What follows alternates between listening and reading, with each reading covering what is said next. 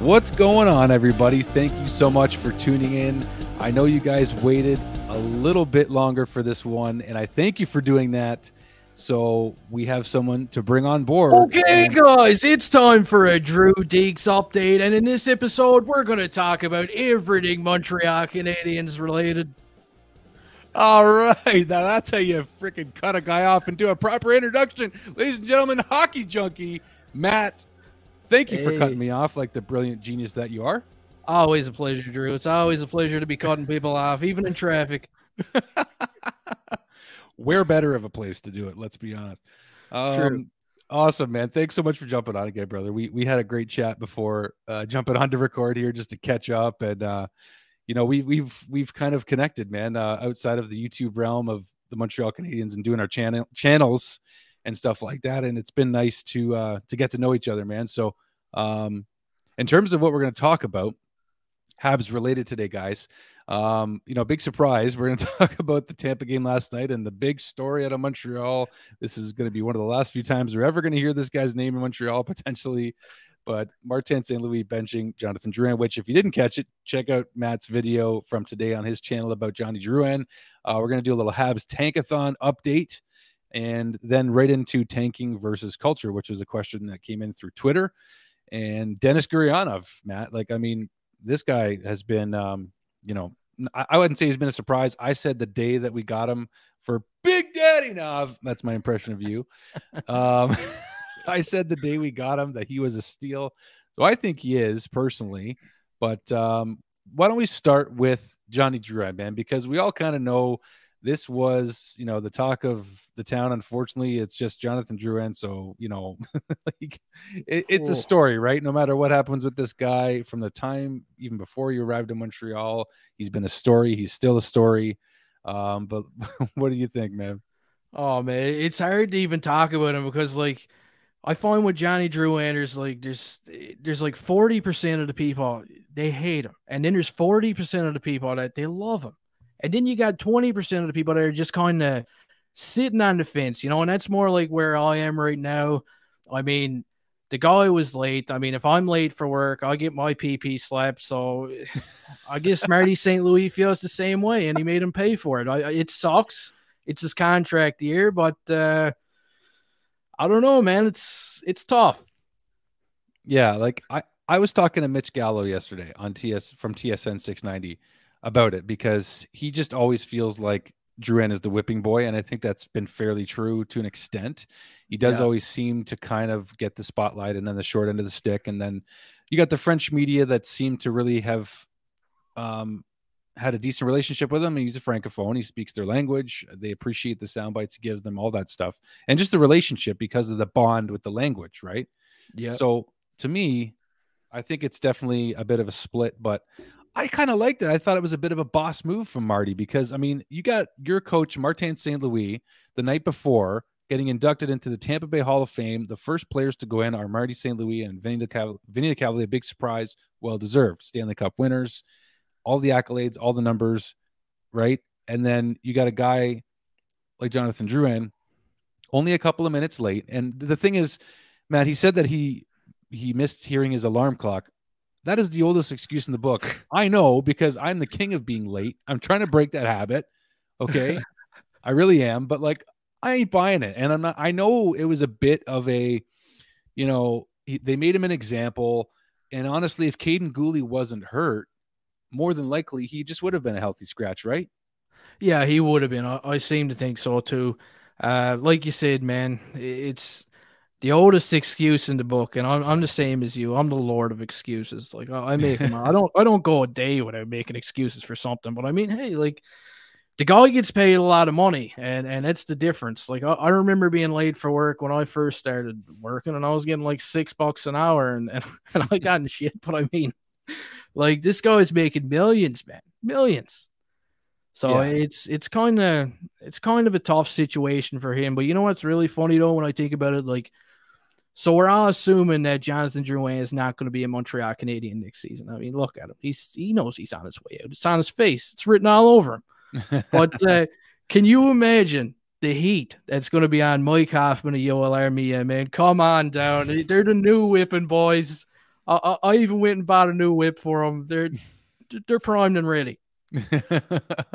yeah, well, they've already taken some of it, but it does seem like you know Jonathan Drouin's been at the forefront. He's been, you know, what is it the uh the old Jake Gardiner on the Leafs. Like nobody got it worse than that guy when he was a Toronto yeah. Maple Leaf man, and and Drouin has been uh, no exception. And you know what the thing is, like we we went on Habs tonight. We did an entire show with Dale Weise about about Jonathan Drouin when he actually left and took his personal leave of absence, and then when he came back, there was a lot of hope again. Like he looked healthy, he looked good. He came out about his insomnia and his anxiety.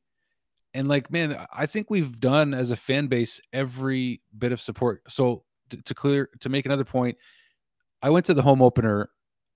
Not this. Well, I went to the last two home openers now, which has been a blessing. But it was the home opener where Jonathan Drouin It was his first game back at the Bell Center after coming back from those issues, right? Yeah. And he scored. And the building erupted. And even before the game, his introduction, the fans erupted. Um, he's had some good nights at the Bell Center. He, he's shown flashes of how great he can be, how talented he is. So, in terms of from the fan side of things, we've given this guy, and there's been a mixed bag of emotions and reactions to the guy, but we've given him a lot of love too, man. I got to say, to be like, that's my feeling on it. There's there's nobody that wants to see Johnny Drouin succeed more than Montreal Canadiens fans. Like everybody's been rooting for him for the past few seasons. I know I have. Like I've always wanted to see him do good, but it's just like like you said, every time it seems like he's going to start picking up and, and, things are going in the right direction. There's always setbacks, man, whether it's uh, injuries or just uh, eating a yeah. bag of Doritos and being out long term after eating them. Like it's, it's always something from one thing to the next. Yep. It does seem that way. It just seems like there's always, he's just been a very, very polarizing figure in Montreal because he's a Francophone. That's just how it goes. He's a hometown guy. And this isn't the first time it's happened. I mean, it does happen with their French players. Uh, maybe not to this degree because of the trade that was made for Sergachev, and now we see what Sergachev's become. Um, you know, has two oh. little, two little rings on his finger now. Yeah, um, stings. Still stings a little bit. It's Bergevin's worst trade still by a long shot, but um, you know what? I just hope that in some regard, do you think there's any? Do you think there's any chance? Is there any chance whatsoever? that Drouin comes out of this. I mean, learning his lesson or whatever. But like, is there any chance that he's a Montreal Canadian next year whatsoever in your mind? I don't think there's a chance at all. And uh, the guy that I do the podcast with, uh, Gary, shout out to him. He's watching right now. He's definitely my number one fan. Uh, Gary. he wrote me like, well, he always said there was a zero percent chance, but he wrote me tonight and he said he, he, he now got it moved down to like minus five percent chance that Johnny Drouin's back. No, I, I don't. I just don't see it happen. Not realistically. Yeah, I just I think so too. I think it definitely is time to move on. I mean, like the, the guy's agent's Alan Walsh. Like we're not getting a discount here, guys. Like it's not happening. like no, and it's probably you know, best for both parties too. Yeah, like if you know anything about Alan Walsh as an agent, uh, he fights hard for his clients. So I I don't know, man. I, I don't. I think it's time to move on. Like you said, it's it's too bad that like it didn't end on a higher note for him. But we tried, man. We tried to give that guy all the support we could, in my opinion. So, anyway, uh, that being said, I think I would like to go into a subject that I didn't actually uh, put into the titles when we opened the show, but I want to talk about Rhett Pitlick's crazy goal. Um, I was hoping I spelled his name his name right. I think I did. You did. You got it. All right, beautiful. So Fifth round pick, Matt, in the 2019 NHL entry draft for the Habs. How many Pitlicks do we have? I don't know. It's the Montreal Canadiens and the Pitlicks. I feel like you know uh, this it's been like a it's like a carnival, right? What's going on here? Got to catch them all, man. They're like the Pitlick man, and and Kent Hughes is like can't catch him. He's just he's just swooping them all in. He lost Tyler, but I mean, Rhett's still going strong now in the NCAA, man. That that highlight from last night was it was insane. I couldn't believe it when I seen it. And and you even said like you had to do a double take. You were looking at the back of his jersey, like, wait, is that is that Pitlick? Who is that? I thought that was Lane Hutson. yeah, like, that's crazy, man. What a goal he pulled off. Yeah, well, you know what? Let's let's show it because it was it was so awesome, and uh, you know what? For our viewers here, look at this crazy goal. Like uh, that kid's ankles are both broken. There's no chance oh that he survives. His ankles are done. So, I haven't uh, moved like that since I had to use the bathroom, and there was a bunch of people online. like just dangling, just dangling. Oh my gosh, is that ever true, isn't it? Oh man. So like th- this is lightning in a bottle here, maybe, but uh, left winger Rhett Pitlick is 22 years old, playing at the University of Minnesota, 10 goals, 12 assists, 22 points in 36 games right now in the Big Ten in Minnesota, which is, of course, uh, university or college, actually. Is it college? I want to yeah. say it's college. Okay. But uh, what do you make of this? You know, this highlight here. Is this just like a flash in the pan? Like, uh, what what do we make of this highlight here from him? Oh, man, you know what? Like, uh, I hate to come right out and say it, but uh, like, I wouldn't get my hopes like too high. Like, you know what I mean? Like Santa Claus is real kind of high and because uh, I don't know. Like, yeah, he's he's doing pretty good. His numbers are pretty similar to last season when you look at him, and and uh, he's what 21, 22 years old now, I think. Yeah, 20, uh, he just turned 22. Yeah. Yeah, I just I don't know. I I'd be kind of surprised. I mean, he could. I mean, all these guys got potential. I mean, that's why they're there. But uh, I, I just I wouldn't put any money on him making the show. But it's nice to have him in the system still. I mean, he, he's a Pitlick, and I mean, these guys are like wieners. You can't have enough of them on the barbecue. Everybody loves them. Uh, That's right. Especially Habs management. So, uh, yeah, who knows, man? Maybe he surprises us yeah, he could surprise. Who knows, right? I mean, that was that was just a fun highlight. I think I want to watch it just one more time, uh, yeah. just for good measure, because I don't know why not. Um, maybe we can get a bit of a different angle. I think it'll be the same one here, but uh, yeah, right from the blue line in. Oh my gosh, oh. just gorgeous stuff. Unbelievable. Just gorgeous stuff. Shout out to uh, Hockey Psychology. Actually, that was where that clip came from. So um, let's go right into the Habs Tankathon update because I do believe that this is something that Montreal Canadiens fans are more interested in than anything else right now, Matt, is the Connor Bedard sweepstakes. We know how big of a draft this is for the Montreal Canadiens in the future of this franchise. So, I mean, we've talked about it. You've talked about it.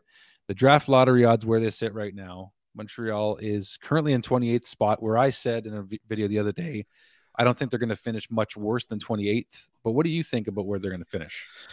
It's it's going to be close, man. Like there's going to have to be, you know, a lot of weird stuff going on for the Canadians to fall much further down. I mean, uh, realistically, like I'd like to see them slide down and be the third last team in the league, but I mean, all those teams just suck, man. it's it sucks because uh, I mean, who wouldn't want Connor Bedard? I mean, you look at his highlights; the guy's unbelievable.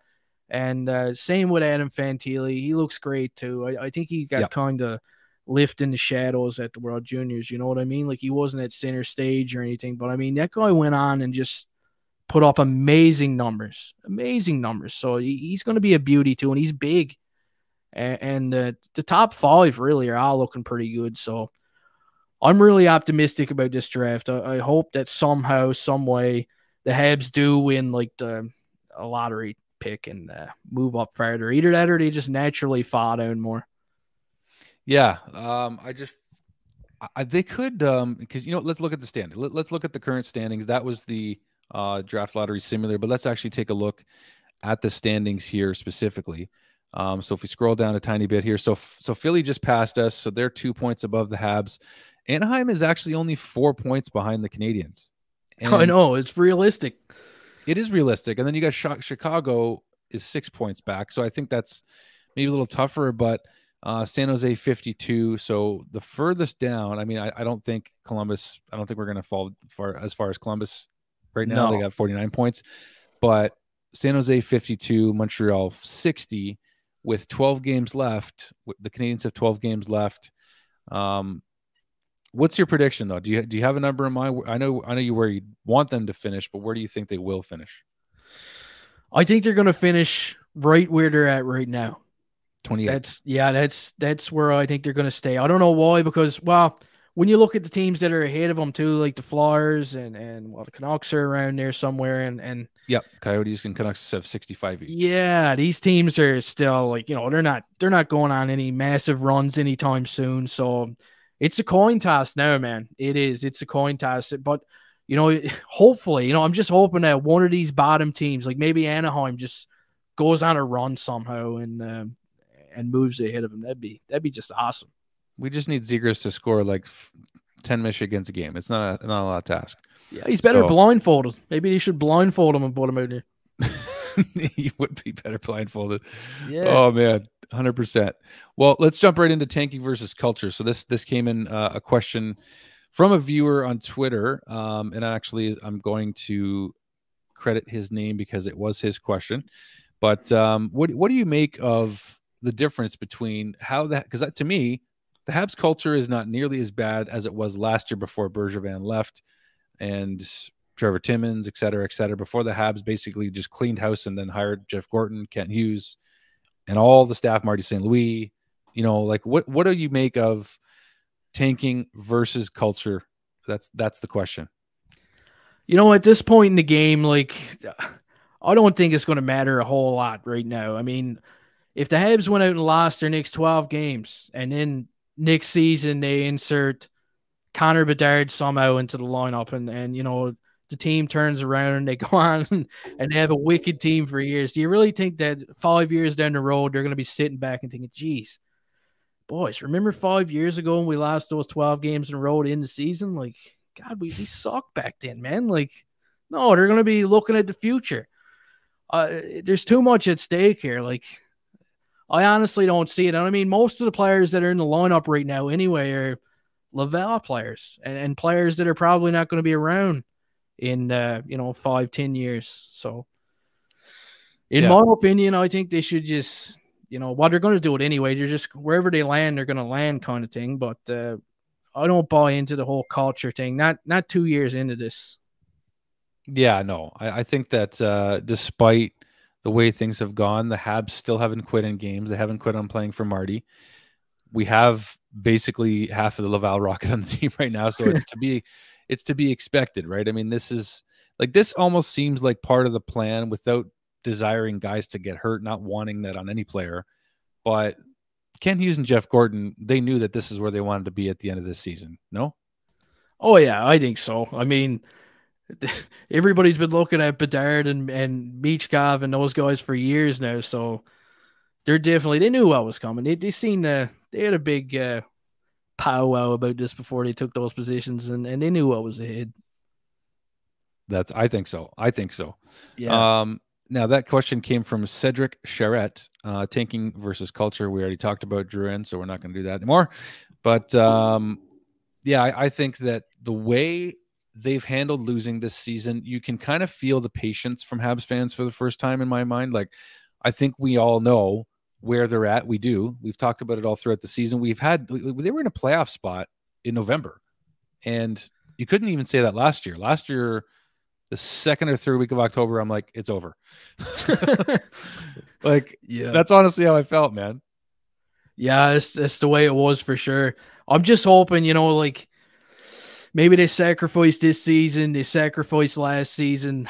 I don't know, man. Like the next within the next couple of seasons, they got to start making a push again for the playoffs and and give the fans something to hope for. But this these last 12 games, they're big. They're big for the future of the team for sure. Like mm-hmm. I'm really hoping that they end up with a really high pick this season. Man, I just oh, Connor Bedard. God, I can't stop thinking about him. I know. Yeah, don't tell your wife. No, I'm just joking. Um, yeah. But uh, but you know what? Like I I said the tweet just kind of had a hunch that we might get Fantilli. I would love to get Fantilli. I, I'd be I'd be stoked if we got one of the two guys. And I think you know a lot of people are talking about Carlson as well. Um, I don't know if you've had to, I, I haven't had a chance to dig in too much on Carlson. I think it's William Carlson. Am I wrong? Um, he's in the top five projected to go. That's basically what I've been hearing. So but uh, either way, I, I just don't know who they're going to end up with. But I, if even if it's a guy that we don't know enough about right now, but be, they do their scouting, you know, like they, it just seems like the Canadians definitely have their crap together a lot more than than before, right? They got the analytics department and the scouting department. They brought in, um, they just signed. Oh my gosh, I'm drawing a blank on the defenseman. Jayden Struble, thank you. Uh, they just signed Jayden Struble, but they waited, Matt. They waited for the right time. So do you feel like there's a much better handle now on who they're going to bring into this organization, making sure it's the right timing also. Oh yeah, for sure. And uh, speaking of Struble, like I'm really excited about him now too. Like not, just to see him play in Laval and see what kind of a player he is, it's, it's kind of hard to get a gauge on these guys when they're playing in the NCAA. I mean, I know I don't get to see too many highlight packages of them. I mean, I'll get on their uh, team websites and have a look sometimes, but uh, watching them in Laval is much easier, eh? And you and you get to see how good he is, and and I think they're doing an excellent job, man. I'm hoping that Sean Farrell is going to sign really soon, Wells kid, and uh, and, and I, I, could just see, yeah, Will Farrell, yeah. Sorry, took me a well, second. Took me a second. Oh. No, but uh, these guys are looking pretty good, man. Wells kid's looking really good. I got to say, he, he put up a lot of points this season. I think that should be our next one. So even though again, um, Matt and I'd like to jump all over the place, but Sean Farrell. So um, will he be next? Uh, will, will do you think the Canadians are going to sign him next? Uh, there was a viewer, Alan Belso, I believe, said that his last game was yesterday or could have been yesterday, and we may see him sign before the end of the season. What do you think? Does he get in bef- before the last twelve games are up? Alan's a beauty, by the way. I got to say that. And uh, he is. Yeah, I, I think they're going to sign him. I think they're going to sign him right away. And I'm, I'm just kind of curious on whether or not they're going to stick him in Laval or if he's actually going to get a crack with the Canadians for a few games to end the season. I, I think that would be awesome for the fans. Kind of like when Jordan Harris came up and Cole Caufield. All of a sudden, you stick a guy like Farrell into the lineup, and uh, it gives the fans something to, to watch, more, keep them more engaged into the games. Because man, I don't know about you right now, but these games are getting tough to watch. Some days I'd rather stick my head in the toilet bowl. Yeah, I know, I know. I was actually talking to some people about that recently too. Like, it is tough. Like the Florida game the other night.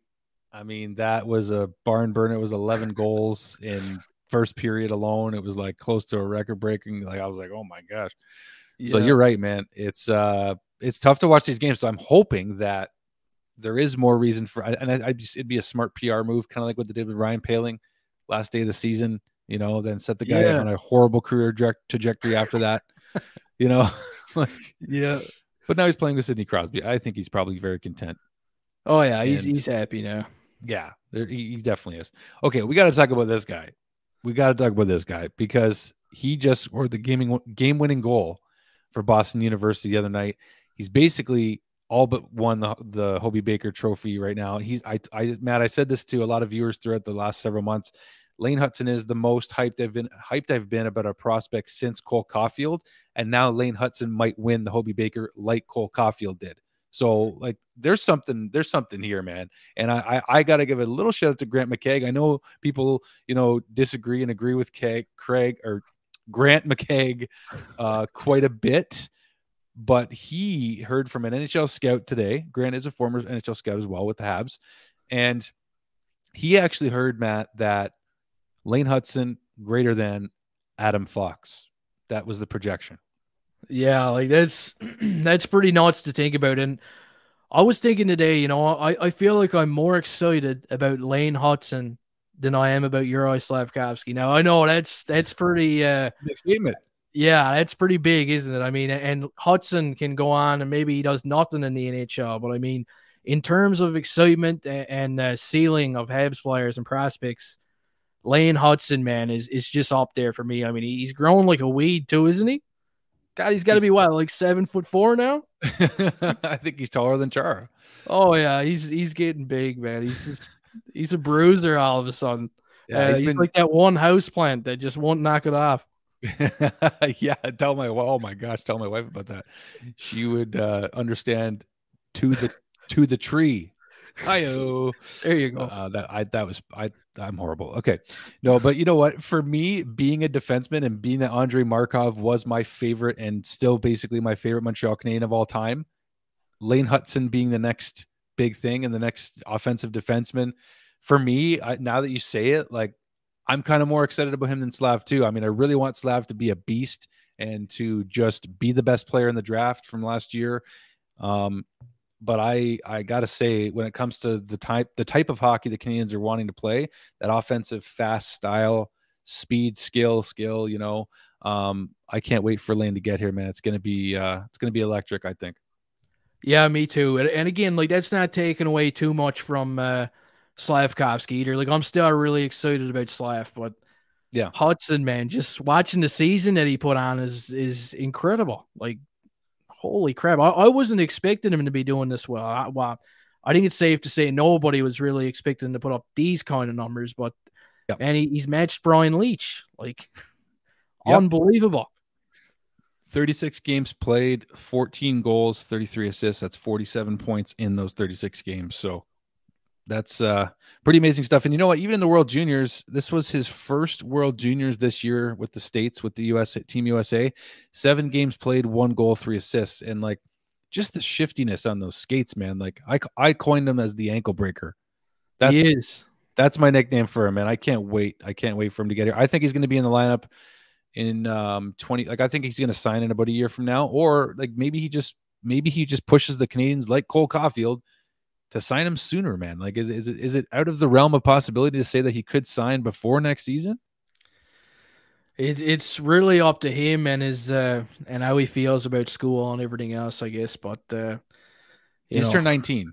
So. Yeah, he's still he's still a pop. So yeah, but but I tell you, I'm really looking forward to him. The Habs defense, uh, like their defensemen right now, their prospect pool is just insane. I'd like to see them beef up a bit more with forwards, but hopefully now this draft they can take care of some of that because it seems like it's it's pretty loaded up front with forwards. Yeah, that's that's what we need to hit on as a forward, I think, and that's that's to me where that that's the biggest need for the Canadians at the draft. To me, is is another top top line center if possible, but also it's it's got to be forwards for me for sure. I want to jump into really quickly off script here um, very, very quickly because it's very, very testy with Habs fans talking about this player because he's not one of our own.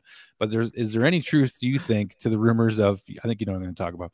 Oh God, um, to Pete to Pierre Luc Dubois and, and there's links to him and Logan Mailloux. I don't like the sounds of it because I just don't want to lose Logan Mailloux. I want to see what he is first, and he's had a heck of a season himself. So what do you th- what do you think about any truth to the rumor that there's interest from the Winnipeg Jets and Logan Mailloux for Pierre Luc Dubois? I don't know, man. Like it seems like a bit of a stretch. You know what? Um, last so. last draft when when Pierre Luc Dubois was at the draft, I know the draft was in Montreal. And he had a he had a pretty easy out on while he was there, and while he was there. But I just got this feeling like, you know, they were there might have been something going on in the background where he could have possibly become a Montreal Canadian right at the draft, and it didn't happen. I think the the interest is real for him that he that he would like to join the Canadians, but uh, again, I, would almost prefer to get him at free agency. But in my heart, I don't think that you know the Jets are going to actually let him lose him for nothing. You know what I mean?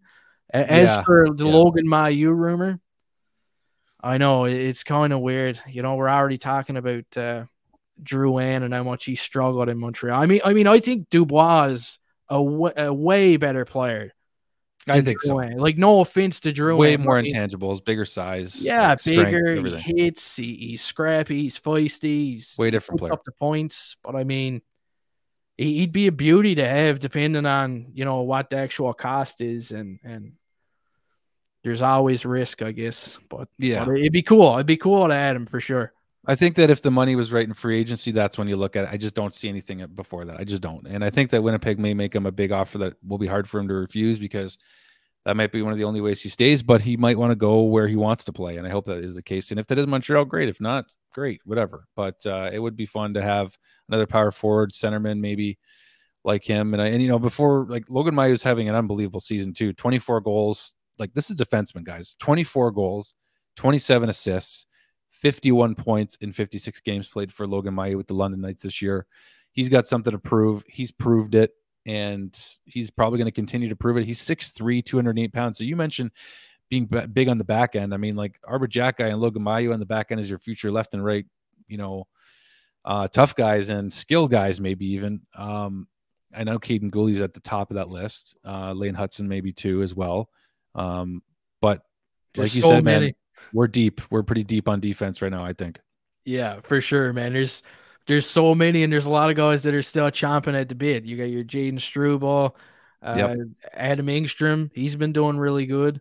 I've been seeing some highlights of him on Twitter, and I mean, a lot of guys are hyping him up quite a bit. And uh, yeah, a lot of these guys are looking good, especially you know the ones that were already up this season. I mean, even Honda Civic Honda Civic just came out of nowhere. They get him on realtor.ca, and then all of a sudden he comes in here and he's flying, cruising. Yeah, yeah, he's he's chirping in Matthew's ear. You know, don't touch Nick Suzuki, you freaking jerk. Um, yeah. yeah. No, he's had himself a good season and he's earned himself potentially a full time job in the NHL. Yeah, I think so. Like to me. I think so. Um, I want to finish on Denis Gurianov, Matt, because uh, I had him much higher in the subject line, and then we just went on a tangent with our Habs prospects because we're excited about them.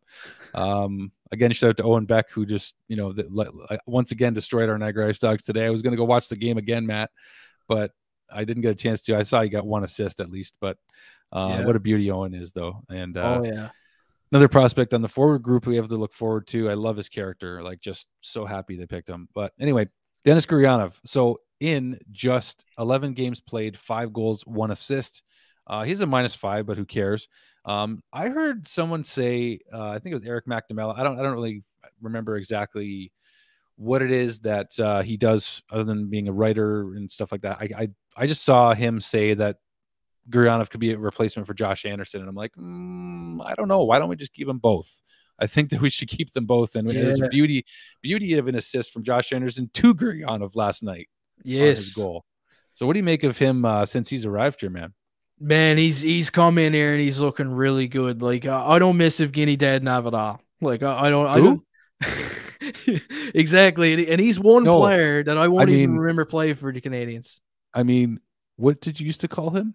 Oh, Big Daddy Nuff. That's what you're looking for. Big Daddy Nuff. I know I put you on the spot. I'm sorry, Matt. You know I love your voice as does the rest of the world. So no, he's he's uh Gurianov man has come in here and he's just scoring a lot of goals, and that's what I like about him. And he's big. He uses his size. He's got that sneaky backhander too that he likes to use. And uh, yes, I'm I'm really hyped about him. I mean, that was a deal where they couldn't go wrong. RFA, what 25 years old, six foot three, six foot four whatever he is, 250 pounds if he's got a lot of rocks in his pocket. he, he, looks he looks good. He's doing really well. He skates like the wind. And uh, I hope they continue using him in the top six to give him a real audition kind of thing. You know what I mean? Yeah, I think so. And it's clear that they they've been doing that. He's been love, he's been loving playing with Nick Suzuki. Uh, yeah. I think he likes culture, man. I mean, like Nick Suzuki is captain. Um, all you've heard so far is how welcoming he's been and just been really representing the CH well. And when guys come in, like I think Gurianov really felt like he got a fresh start, and you're seeing it, man. He's playing free under Marty St. Louis. It's been fun to watch him so far, man. When he gets his chances, like he's got a heck of a shot under him. Oh yeah, he's a beauty. So that with with that being said, um, I think uh, they're I think they're definitely at least so far. Like, what are your impressions? Are they going to give him his qualifying offer at 2.9 million in the offseason? Oh, I think so. I can't see why not at this point. I mean, he's already won my heart. This guy, like, I made a Valentine for him. Like he's like, he's doing really well, man. Like, uh, just pull the paper out. Just pull it out. You know, just put the paper on the desk. Uh, don't take that quite literally. No. uh, yeah. Borderline humor's getting a little weird over here, folks. Getting a little weird. Uh, we're having some fun, as we always do, man. Um, Denis Gurianov, well, that's kind of where I wanted to uh, wrap up that particular segment, my man. But uh, I think uh, we're going to wrap it up here, man. But as always, uh, super fun to talk with you, man. It's always such a blast. Um, I, I get messages once in a while that we should do this more often, and maybe we will. And hopefully, Gary won't get too mad at us and won't feel left out. Maybe we'll have to bring Gary on for a show. Yeah, what do you think, man? Bring him, bring him in too. I say we got to bring him in. I think we have to. Yeah, I think we have to. Gary, we love you, man. Uh, he's been such an encouragement too. And uh, as of you, you actually reached out to me first, man, which really impressed me. I, I just that that spoke to your character a lot when you messaged me first. And you know, I meant to tell you, by the way, a quick funny uh, story about about yourself and I guess me. Um, I've had like two or three people at my hotel that I work at recognize me from my channel, and I mean, literally like two or three. It hasn't been very much. Like I'm not bragging here, guys. and uh, I had I went to go fix an issue for a guest in their hotel in their room. Yeah, so I had to go to their room and help them with their TV or whatever. And he's like, "Yeah, man, I recognize you, uh, Drew Dekes, you know." And then all of a sudden, his girlfriend in the back like didn't hear who I was, but she heard I was a Habs YouTuber, and she's like, "Oh, are you hockey junkie?" man, I was wild. like, "No, I do know him, and he's my buddy. He's the man." man, that's crazy. It's crazy yeah. to think about. Yeah, it was so funny. I was just like, oh man, that is a huge compliment to you, man. I was like, you know, they know who you are too, and oh, it's great stuff, man. We've we've had a heck of a lot of support, and uh, thank you guys for watching. Like, you, you forget that people actually tune into this stuff. It's not just you and me having this back and forth. Um, we've we've had a great time as we always do, Matt. But I hope you guys do have also enjoyed watching us and listening to us. Um, so anyway, man, thanks for doing this, brother. Always appreciate it. Thanks a lot, man. Anytime. I'll always be around. You want to sign us off again? sure, man. Of course. Okay, guys, and that does it for this episode of Drew Dekes and Friends. We hope you all enjoyed. If you didn't, I hope your cat takes a dump in your shoes. And uh, hey, we'll see you next time. And on that note, thank you guys for watching. You know what buttons to push if you enjoyed it. Thanks, everybody. Thanks.